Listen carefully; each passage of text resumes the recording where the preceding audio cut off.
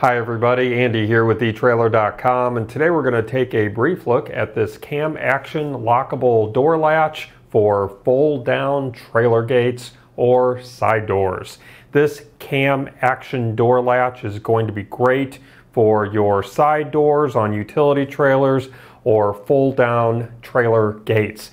This is going to pair with a schedule 40 3 quarter of an inch plumber's pipe that will need to be welded to the cam ends as well as to the handle for a complete installation.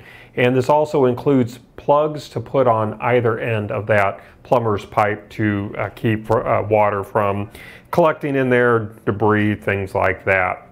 Now the bridge type hasp is going to help prevent accidental opening and ensure safe latch action and this can be locked with a padlock, which is sold separately. You could run a padlock right through there or something like a, a pin even just to keep that closed. But putting a padlock there, some kind of lock would uh, be a good idea. Now this double action handle assembly is going to ensure simple, secure latching and help protect against in-transit jarring. You're just going to flip this handle keeper on the hasp up and then lift the handle and then rotate the handle to either release or engage the cams. Speaking of this handle, this uh, has a black vinyl uh, cover here at the end. It's going to give you a smooth, comfortable grip.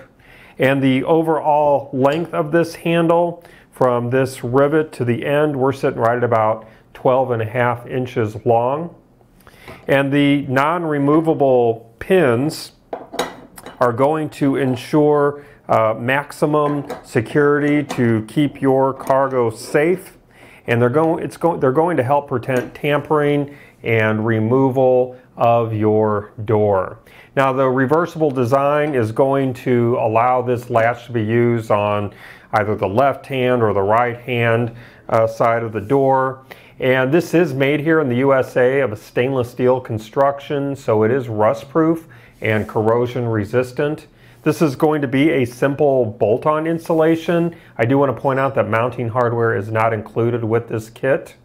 The distance between the mounting holes on the hasp, center to center, we're sitting right at four inches.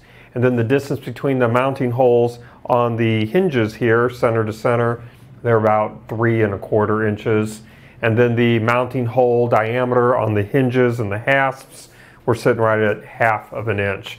Now on your screen, I am including uh, a diagram uh, of the measurements uh, with these parts, going over some of the measurements that we already talked about, but giving you some additional measurements that you might find helpful. I thought this might be a little bit easier than trying to lay a ruler on uh, all of the parts of this kit.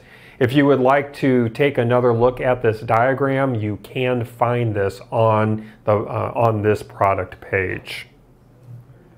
Well, that's going to conclude our brief look today. I do hope that it was helpful for you. Again, my name is Andy. Thank you for joining me.